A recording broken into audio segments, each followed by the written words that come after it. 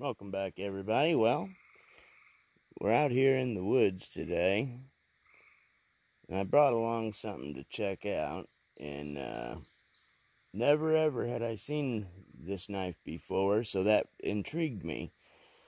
We're looking at the Boker Plus Bushcraft Kormoran. Looking at a 4.62 inch blade, a 9.5 overall, with about a 3 16 thickness on the blade, black G10 handles, full tang of course, 14C 28N steel, and a very interesting grind on there as you can see. It's a full flat with like a Scandi type edge. It's very interesting. This like I said, I've never never really seen one quite like this, so I thought I would check it out. Now, of course, major drawback, Boker Plus. Now, Boker makes, you know, really good stuff, you know, however, the plus is their budget end, so that's made in China. But this isn't a cheap knife. It the you know only listing I really saw for it was on eBay for around a hundred bucks, you know, plus a little bit, you know. So anyway, I had an opportunity to pick it up, so I did. And I thought we would check it out. Now it does come with uh, what they're calling a Kydex sheath, and it may be it's pretty thin though, and it comes with one of these, I guess you would call it like a C-type clip there, which is okay. I mounted it up just to carry it the way it is, you know, just to uh, see how it worked out, and seems to work out okay, actually. I mean, I'm sure I'll do something different because I don't like the sheath itself, but it is razor sharp. I can tell you that. So let's uh, let's do a little bit of testing on that. Of course, I haven't cut anything with this. I did cut a few slices of paper before I left, just to, just to see.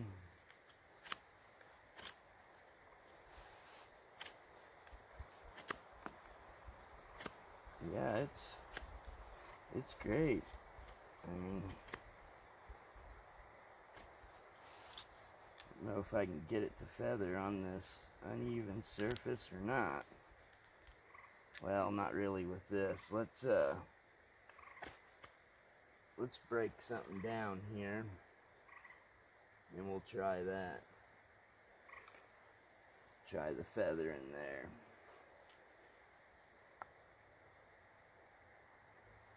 Know I'm in a baton.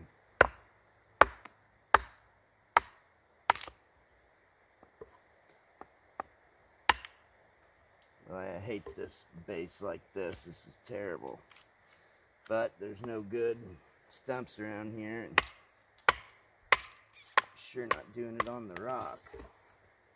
Okay. Guess that works.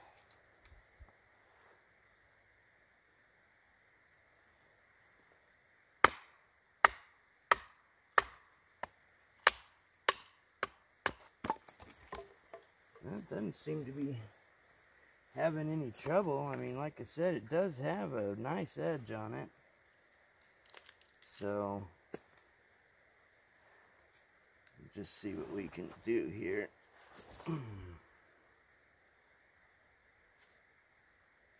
on this unstable base.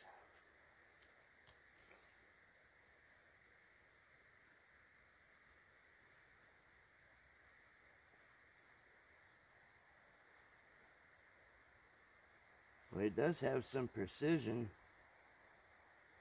I know I'm not really showing it, but I mean, I can feel it.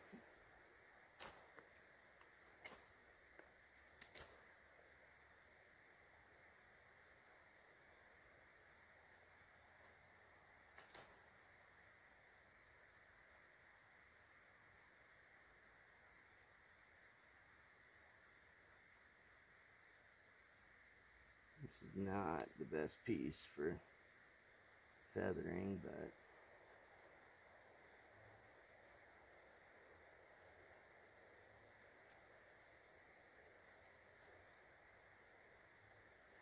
don't really have a lot of good to choose from around here. Of course, since they burnt the place, you know, anything smaller is gone. It's just everything big. And this was a standing, but it was dead, of course, so it wants to bite deep.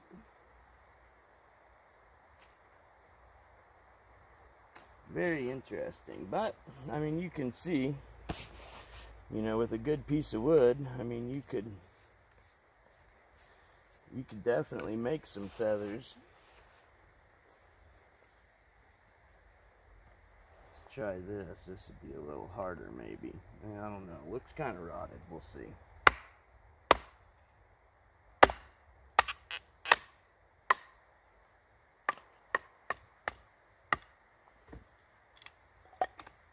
Yeah, kind of rotted. But, I mean, if the edge will hold up through batoning, it'll probably hold up through feathering. Because it did have, I mean, a fine little edge on it. Sounds kind of funny. And the coating it has on it is, uh, it's real slick coating. It's almost like a stone washed kind of kind of coating. Doesn't look bad.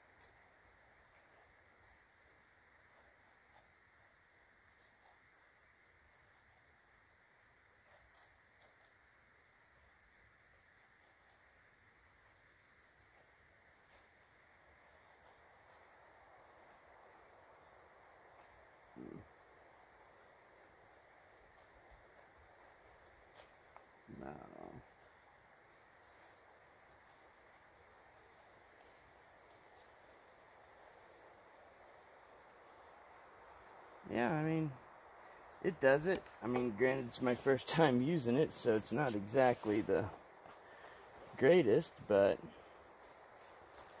that'll get better over time. And you can see this thing has a really fine, well, maybe you can see, just a really super fine tip.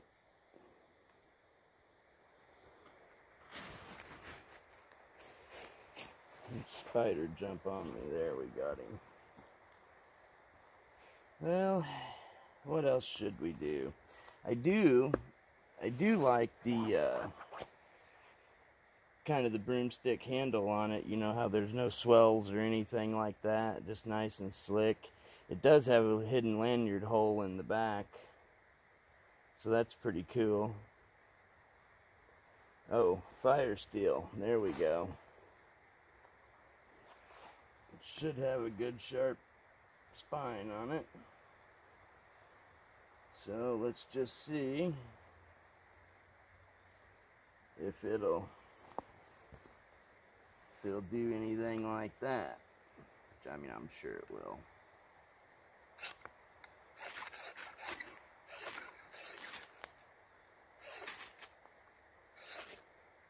no problem. I mean, I'm not even pushing hard. I don't want it to fly over on my bag. You know, I mean, you really get with it, it'll it'll throw them no problem. So, yeah, that's good there. Um, I kind of like that it's stainless. I mean, that's kind of nice. I like having my options. You know, I like having the carbon and the stainless knives. That way, you know, you can choose what you want to choose, you know, for your conditions. If you're going to be out in the rain for a week, you know, probably better bring a stainless knife unless you will care to you know, maintain maintain a uh, carbon knife.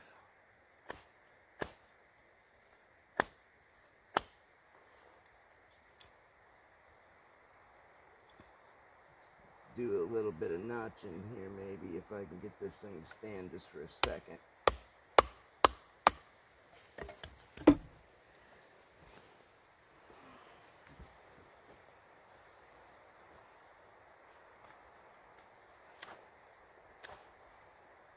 Of course, cedar probably isn't the best choice, but it's alright.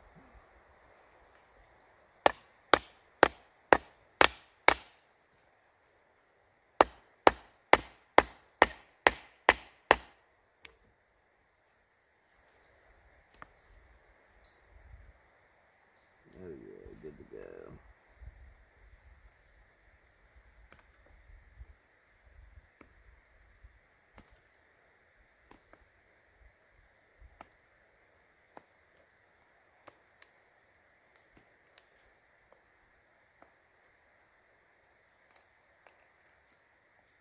At least it's a good stainless steel.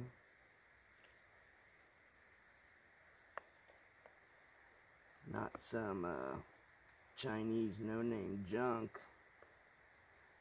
So that's a plus.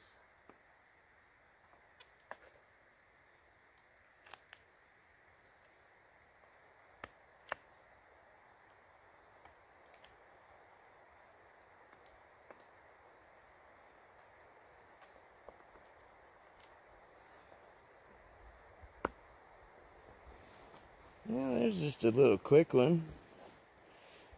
You know, no big deal. It did it, of course, just fine. Wipe her off and see if we can detect anything blade-wise here.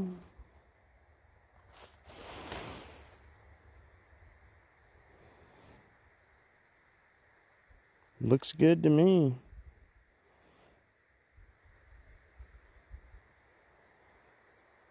Yeah, looks good to me. Well, that was just a uh, pretty quick one.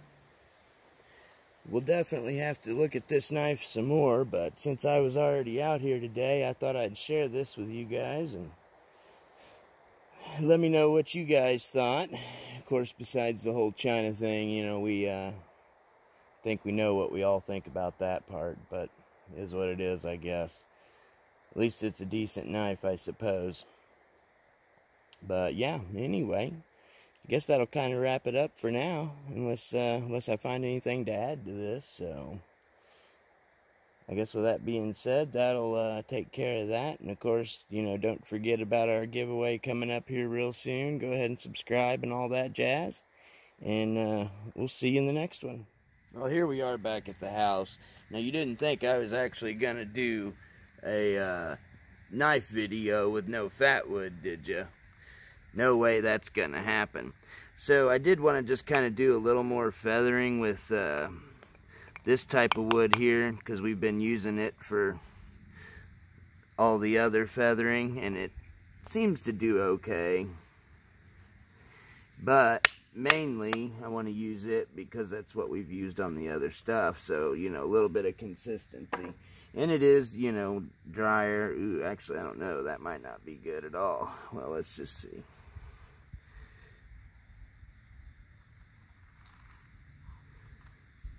And this knife has got a fine little edge on it. Super sharp.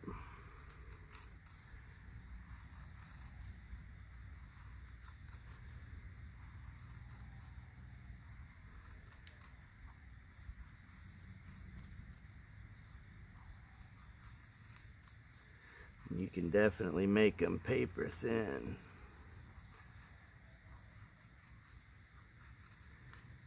After using this thing, getting used to it a little bit, I mean, it could probably make some serious feather sticks. Yeah, this wood's pretty soft, so it's wanting to kind of bite, but you can see that was relatively effortless Now that, hopefully you can see that real well. This here is some stuff I found out there in the woods there that, and this stuff is just nothing but just pure resin. It is very, very nice. And I mean, it just fogs the black smoke.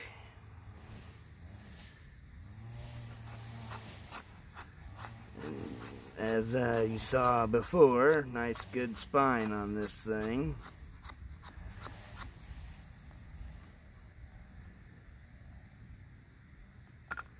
Probably won't take a whole lot to uh, ignite this, I wouldn't think. This stuff is pretty potent. Alright, let's get our rod out here. Again, we'll go with the same four directions bushcraft.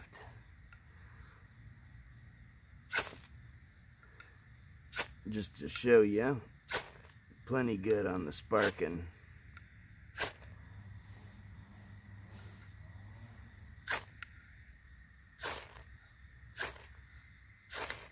There. Look at that black smoke. I mean, this stuff is just some serious, serious fat wood here.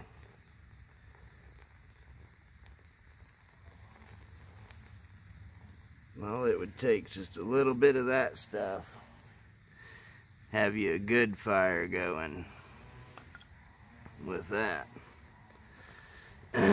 so, yeah. Pretty decent little knife, actually. I like it.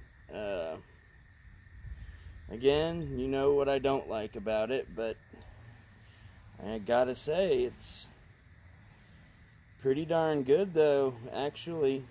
Now, as far as the old uh, $100 price point, I don't know about that. You know, I, I think there could be better options, maybe, you know, for that. But, I mean, all in all, though, pretty darn good knife. So anyway, couldn't have a knife review without some fat wood, of course. So anyhow, I just wanted to show uh, show you all this knife. So uh, take care.